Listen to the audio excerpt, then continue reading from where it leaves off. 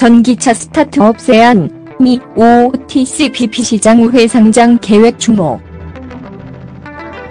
사진, 위드유, 위드유.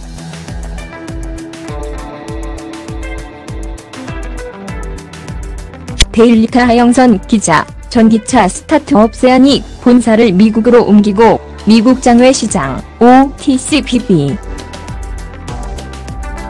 Over The Counter Bulletin Board 내 기술 우회 상장할 계획이다. 30일 이정용 새안 회장은 새안은 다음 달 중으로 본사를 미국으로 이전하고 현지 OTC BB 시장에 기술 우회 상장하기로 결정됐다며 이달 안에 뉴욕 월스트리트의 주요 투자사들과 협의 후 법률 금융 전문가를 통해 세부적 사항을 진행키로 했다고 말했다. OTC BB는 저가주 장외 주식 거래 투명성 제고를 위해 지난 1990년에 개설됐으며 나스닥 상장 이전의 기업 자금 조달을 창구로 활용되고 있다는 점에서 세안의 이 같은 행보에 관심이 모아진다.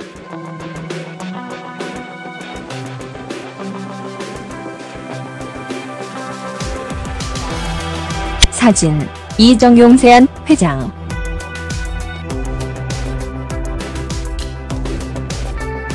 이 회장은 이와 함께 세안이 OTC BP에 등록된 이후 한국의 세안은 미국의 한국지사 역할을 맡게 된다 며 6월 안에 일본의 세안 재팬을 설립해 일본 전기차 시장에 진출한다 고 설명했다. 일본의 세안 재팬에는 그리하라 사토시 사장이 경영을 진두지휘한다.